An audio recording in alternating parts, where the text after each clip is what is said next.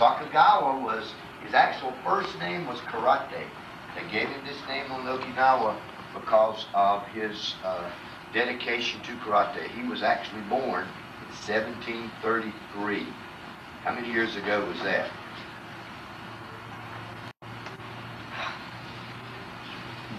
Over 250 years ago, right? So he was in my lineage. All right, Eli?